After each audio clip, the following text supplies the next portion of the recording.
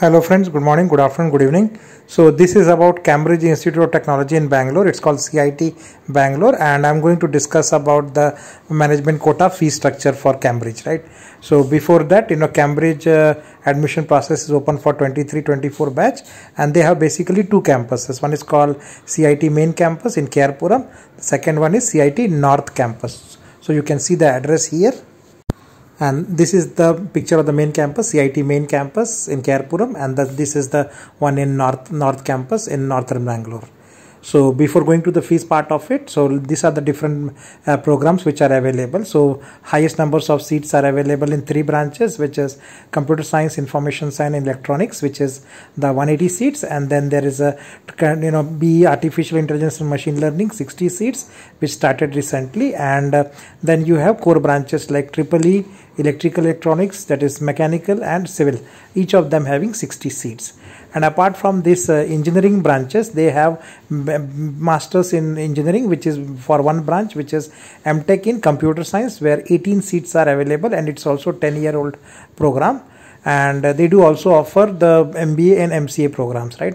So first course, all the engineering courses are admission is through KCET mode of admission, COMEDK, uh, as well as the management quota.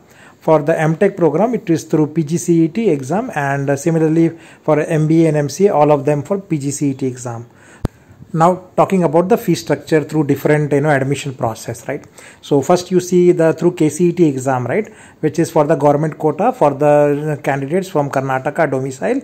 So for them the one year fees is 1 lakh 5340 and this is the last year fees so you can expect you know around uh, a, a 10% increase on that. Similarly for admission through COMEDK quota which is a national level exam for fees is like 1 lakh 78340 and this is quite lower than the regular fees for you know different COMEDK colleges which will be around 2 lakh 50,000 so it's available at lower fees and you can go for through COMEDK and the next option is for the management quota. So this is also last year's fee. So you can increase to be increased by 10 to 15 percent this year. So fees is like 2 lakh rupees per year for management quota. So this is a decent option which you can go and it's uh, like 8 lakhs current fees and you can expect 10 to 15 percent increase in the management quota also for the next year. Now moving forward now talking about the other programs like so they have MBA and MCA program as I mentioned and it is through PGCET for the Karnataka domicile.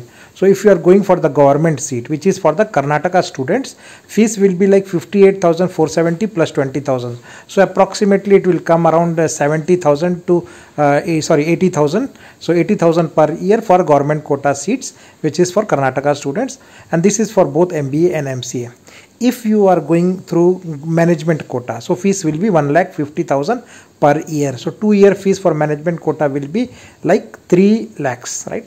Now talking about the other fee structure uh, for mtech programs again through pgcet for karnataka based residents it will be like 68470 plus 20000 approximately 90000 per year. But for the mtech for the uh, outside karnataka students it will be like 1 lakh 50000 for management quota. So 150 plus 150 so approximately 3 lakhs will be there for management quota uh, you know pgcet mtech fees so these are overall you know i have given the data from the government's quota seats plus uh, you know a management quota.